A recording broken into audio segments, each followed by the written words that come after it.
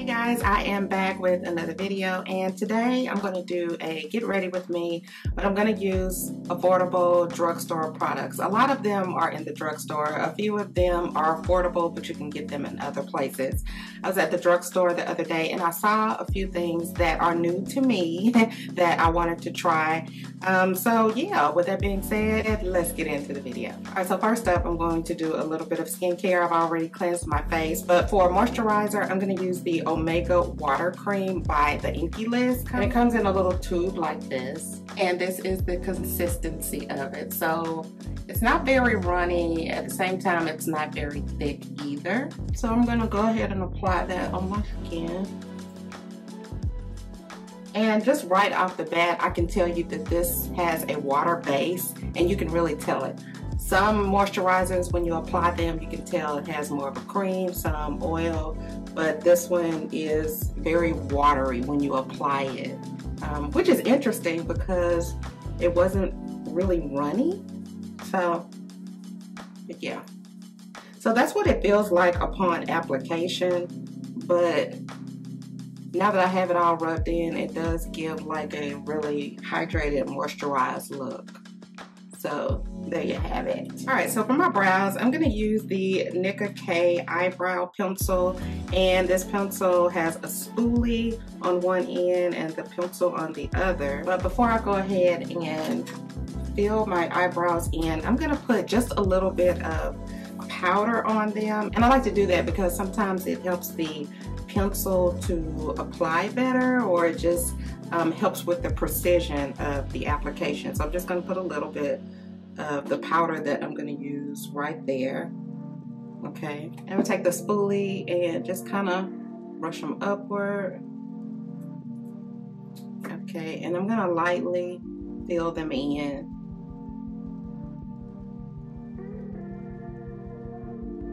And towards the tail, I tend to be a little bit more heavy handed just a little bit, not much, but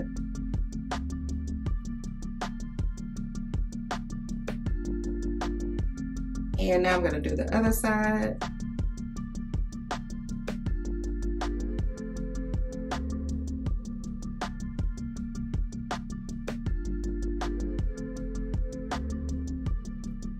Okay, and that is it as far as the brows go. So as you can see, it's just something light, not really heavy.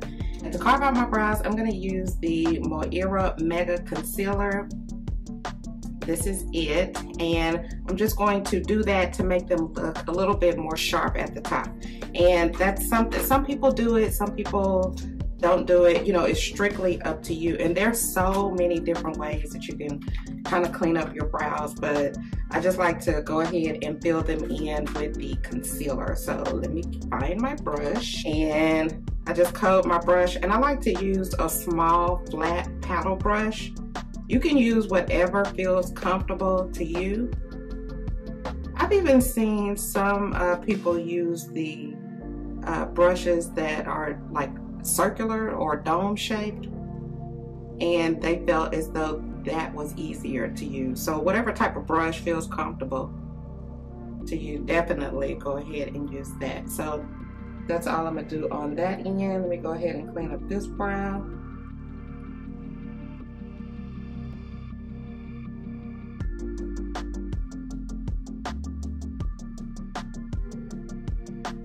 Okay, and that is it. So I'm gonna take another brush and just kind of blend that out little bit.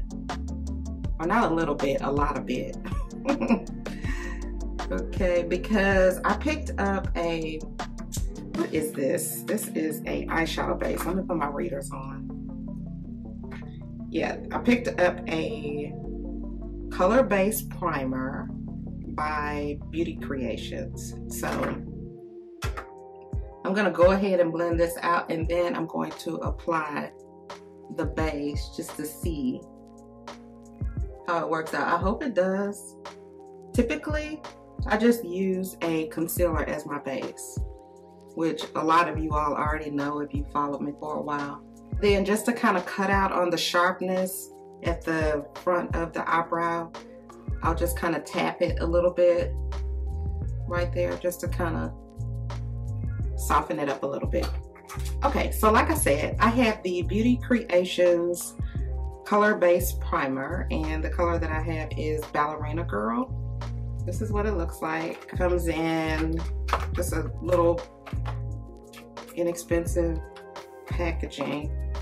And then here's the tube. So I'm gonna put a little bit on the back of my hand. And they had several different colors off the top of my head. I can't remember what colors, but I elected to get this shade. So I'm just gonna get a, another brush and I'm gonna apply this on my lid.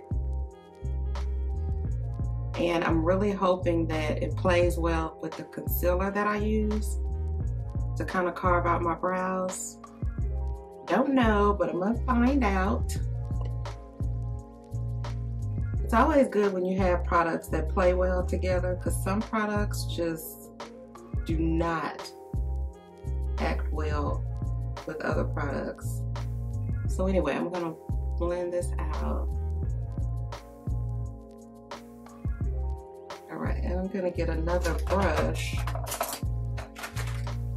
to just blend that out more to see how well it blends with the concealer.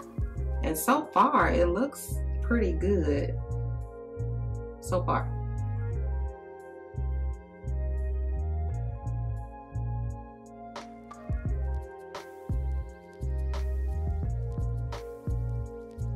All right, so I'm not sure if y'all can see that, but from the placement of the concealer to the base, it seems like a very kind of well blended transition. So now we can kind of move on to the eyeshadow.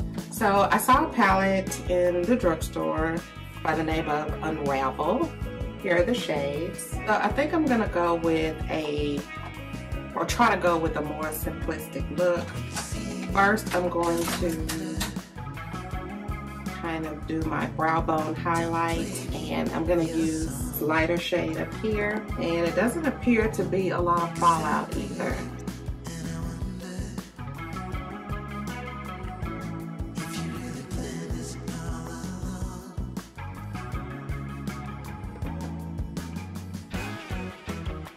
Now that I have that applied, I'm gonna go ahead with a crease shade and I'm using a red lipstick for this look, so I'm trying to figure out what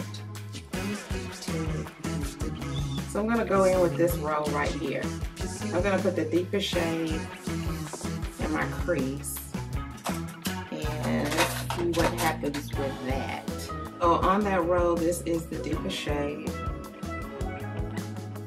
So far so good. And I'm just using the softest brush that I have. As you all know, all brushes are not created equal. Some just are not good for blending. And I think the key with any um, tool that you have, particularly eyeshadow brushes, try and get the softest brush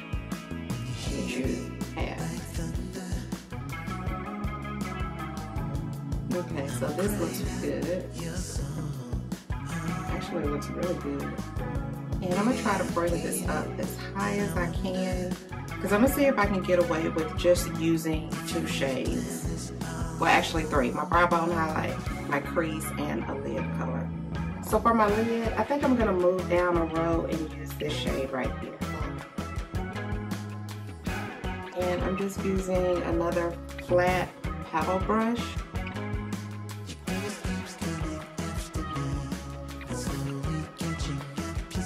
And now that I have that applied, I think I'm gonna go ahead and use this shade right here in my outer V. And that's just to deepen up the look a little bit and add a little bit of dimension. So I'm just gonna apply it like so.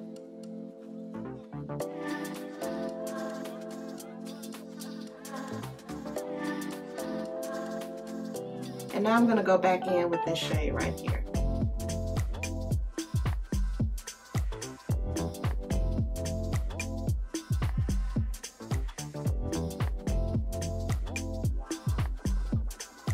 So I'm gonna go back in with a deeper shade and just kind of add a little bit on my lower lash line. I typically elect to leave that blank and just put mascara because sometimes when I add shadows on my lower lash line it can be a little bit much but I'm just gonna go ahead and add a little bit just right there just like that and then I'm gonna bring it up upper lash line just right in the corner so that's pretty much for the eyeshadow. I'm gonna go ahead and do this side and I'll be right back. All right, so I got the eyeshadow look all completed. Next up is the liquid eyeliner. And this is the Precision Liquid Eyeliner by Neutrogena. And the reason that I wanted to try this is because it's made with honey and coconut and that's supposed to be designed to resist smudging, water resistant and hyperallergenic. Seems like I saw somewhere else that it had vitamin E in it. I'm not sure. But anyway, comes in a box like this. So probably the simplest way to use a liquid eyeliner is just kind of make small strokes instead of one, you know, big long stroke all at once. Or at least that's the way I do it. I think that that's pretty easy. So I'm just applying it as close to the, the lash line as possible. If you find that it's kind of hard for you to see, just get the little mirrors that have the magnifying mirror on the other side. That's what I use to help me see.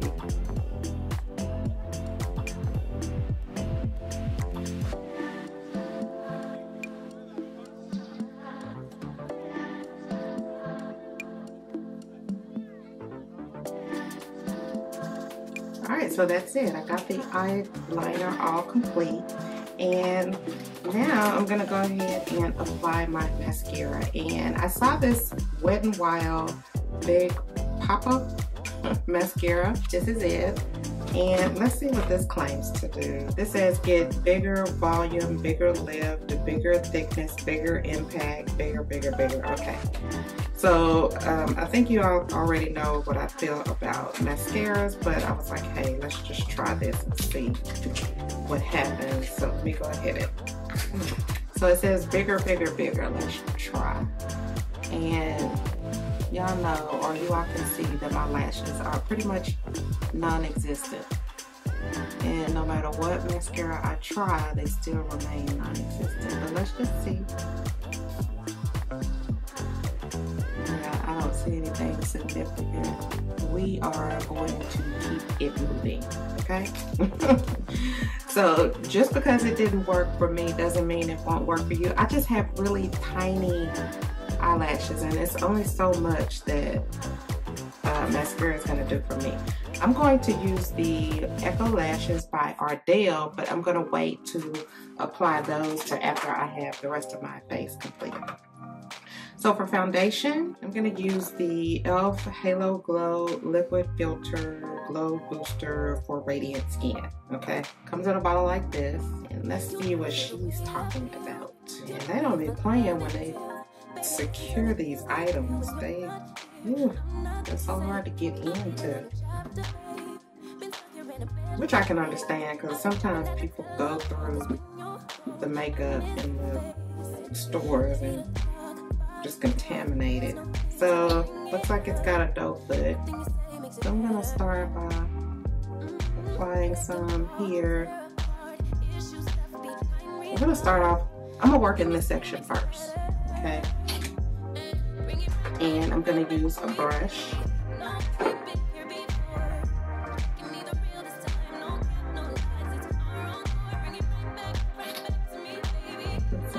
Here. And I don't know if enough just isn't coming out for me, but, or it could be that I'm just using too much, but anyway, let's see.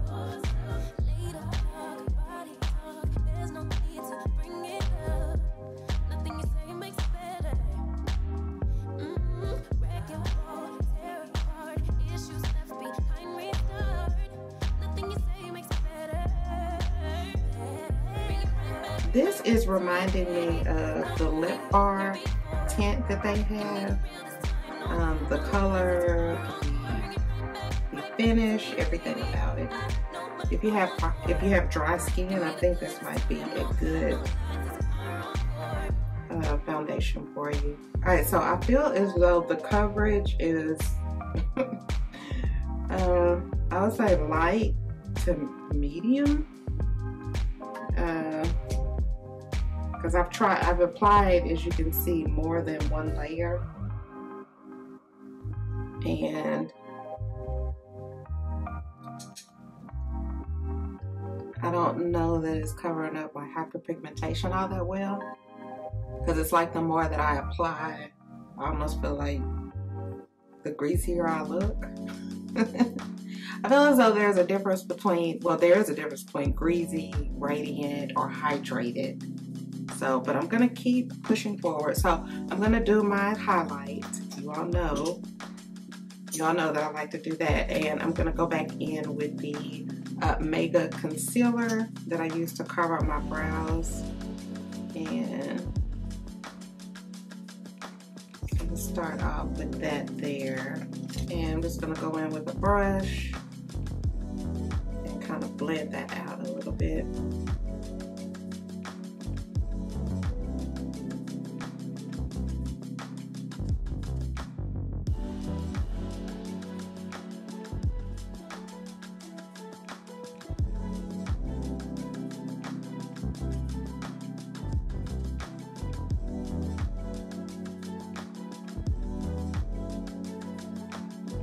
So one thing that I can say about this foundation is that um, it's doing really well with blending out with the concealer that I used. So I don't see it lifting or anything and I'm just going back in with the foundation brush to go over the edges. So I'm gonna go ahead and do the other side and I'll be right back. All right, so I've got all of the highlighting done that I'm gonna do. I'm gonna go ahead and set the highlighting part with the Revlon Photo Ready anti-pollution candid uh, loose setting uh, loose setting powder this is it I'm gonna go ahead and set my under eye and under my nose my chin and my forehead I'm going to just kind of add a cream bronzer. And for the cream bronzer, I'm going to use my Black Radiance Color Perfect Foundation Stick. Uh, looks like this. And I'm just going to add a little bit up here. You know, right there. And right here. Okay and I'm gonna go in this time with a stippling brush and or you may also know it as a dual fiber brush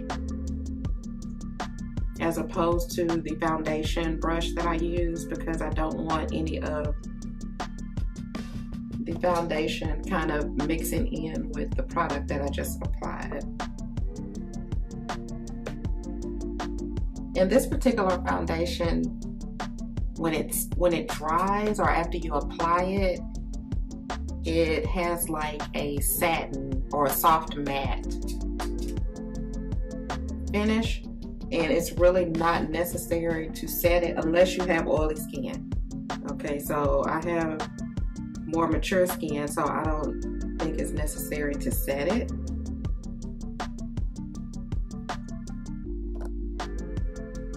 There you go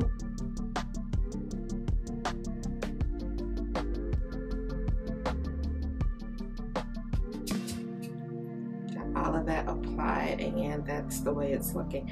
And it's like now as I'm just kind of finishing everything off and it's coming together mm, yeah I think I am going to add a little bit of powder right there just in certain spots but not all over. And I'm going to use a black radiance loose powder. And I'm just going to lightly set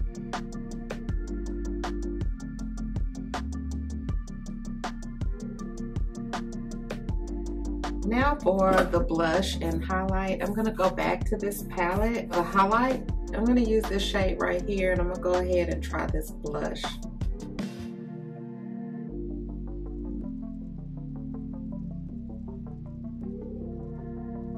And everywhere that I'm highlighting, you definitely don't have to highlight in the same places.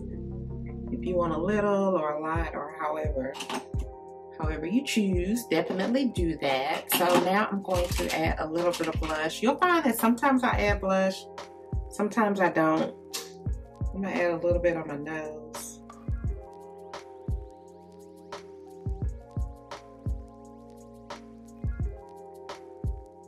And now I'm gonna go ahead and add the glue for my lashes uh, before I go in with the lipstick and the setting spray. So what I like to do is I like to add the glue on the eyelashes as well as the eyelid. And to me, if you add it to both, it just kind of allows for a quicker, more precise uh, application. The key to applying eyelashes is letting the glue get sticky. If the glue is not sticky, when you go in to place it, it's going to slip and slide everywhere that you place your eyelash. Also, another thing that you need is a magnifying mirror so you can actually see where you're placing your lash. So I've got the glue on my lashes and I'm going to just apply a little bit on my lash line.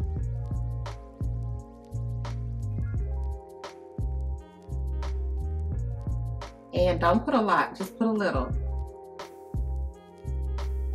So now you need to let everything get a little sticky. Allow the glue on your lid to get a little sticky as well as your eyelashes to get a little sticky. So I'm gonna set that over there. And now it's time for lips. And this particular lipstick is not new, but this color is new. And this is the NYX Shine Loud lipstick. Okay.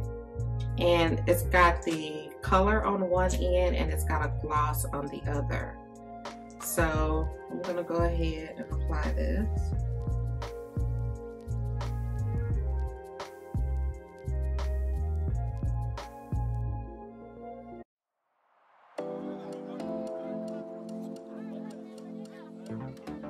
All right, so I'm gonna go ahead and let that dry.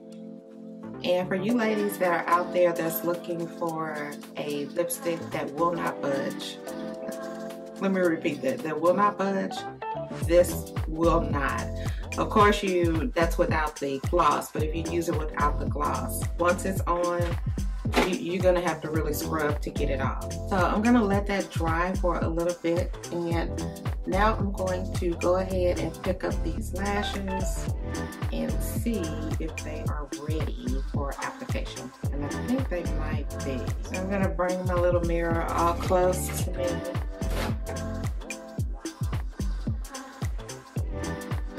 And these lashes are so pretty. Alright, so now I have the eyelashes all on and now I'm going to use this lip gloss and just apply it all over the lips.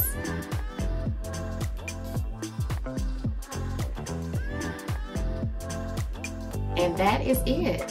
Final step, we gotta have some setting spray, right? Luminous setting spray by Morphe.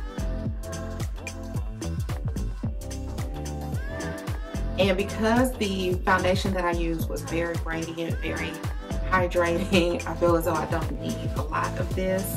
And I think guys, this is it. So that's it. That concludes the video. Let me know down in the comments if you tried any of these products. If you tried them and you like them, let me know. If you tried them and you didn't like them, let me know. So yeah, that's it. Thanks so much for tuning in and until my next video, smooches.